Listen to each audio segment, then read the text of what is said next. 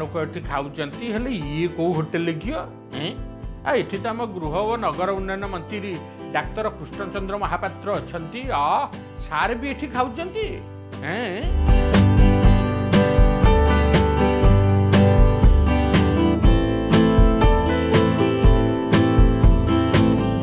ମାଲିକ ମନ୍ତ୍ରୀ ଏଠି ଆହାର ଖାଉଛନ୍ତି ତାମାନେ ଇଏ ଆହାର କେନ୍ଦ୍ର। ଅ ହଉ।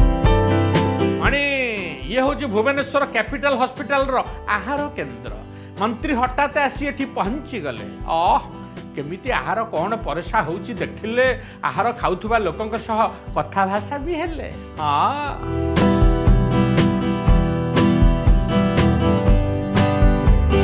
ମାଲିକ ଆହାର କେନ୍ଦ୍ରର ପାନୀୟ ଜଳ ବ୍ୟବସ୍ଥା ଡଷ୍ଟବିନ୍ ବ୍ୟବସ୍ଥା ଏସବୁ ପଚାରି ବୁଝିଲେ। ହଁ ଭଲ କଥା। ଆ ଖାଲି କ'ଣ ସେତିକି?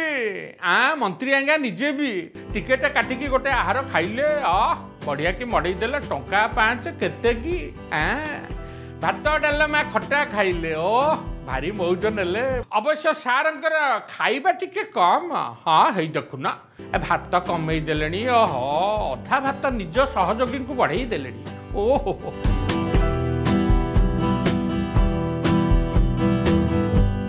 ହଉ ହଉ ଚଳିବ।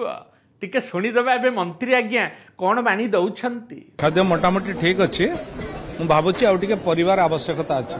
ଆଉ ଟିକେ ପରିବା ପଡ଼ିବା କଥା। ଦେଖନ୍ତୁ ଆମ ସରକାରର ପ୍ରାୟୋରିଟି ହେଉଛି ସୁସ୍ଥ ଏବଂ ପରିଷ୍କାର ବାତାବରଣରେ ଆମର ଯେଉଁ ଗରିବ ଭାଇ ଓ ଭଉଣୀମାନେ ଆସୁଛନ୍ତି ସେମାନଙ୍କୁ କେମିତି ପୁଷ୍ଟିକର ଖାଦ୍ୟ ଯୋଗାଇ ଦିଆଯିବ। ଲୋକ ଖୁସି ଅଛନ୍ତି। କିନ୍ତୁ ମୋର ବିଚାରରେ କେହି ଯେମିତି ଖାଦ୍ୟ ନଷ୍ଟ ନ କରନ୍ତୁ। ହଁ ସାର୍ କହିଲେଣି ଖାଦ୍ୟ ନଷ୍ଟ ନ ହଉ ପରିଷ୍କାର ପରିଚ୍ଛନ୍ନ ଏ ପରିବେଶ ରହୁ। ଆଉ ଟିକେ ପରିବା ଏ ଖାଦ୍ୟରେ ରହୁ। ହଁ ସାର୍ ଜଣେ ଆୟୁର୍ବେଦିକ ଡାକ୍ତର ଆଉ ତେଣୁ ସୁଷମ ଖାଦ୍ୟ ଉପରେ ରଖିଛନ୍ତି ତାଙ୍କ ନଜର। ନାଇଁ ଶୁଣନ୍ତୁ। ସେ ବନ୍ଦ କିଛି ହେବ ନାହିଁ। ଯେହେତୁ ଗରିବ ଲୋକଙ୍କର ସେବା କରିବା।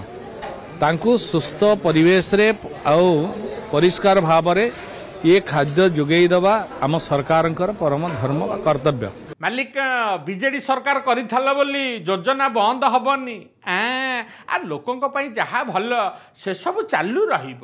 ହଉ ନନା ଚାଲୁ ରହୁ।